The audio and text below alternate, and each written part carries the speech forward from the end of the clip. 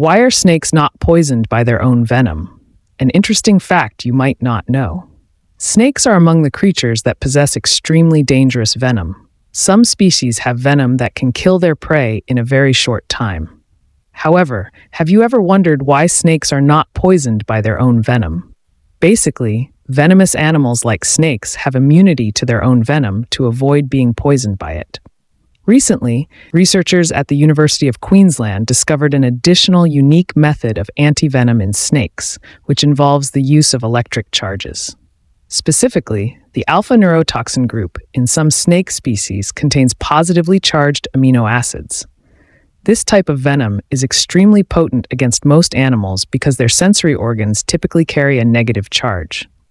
Interestingly, snakes have evolved to change the electric charge of their sensory organs from negative to positive. According to the research team, having both the venom and the sensory organs with the same positive charge essentially ensures that snakes are never poisoned by their own venom. The research team explains it's similar to when we try to connect two like poles of a magnet. Two things with the same positive charge repel each other. If the venom cannot connect to the sensory organs, it cannot affect the nervous system.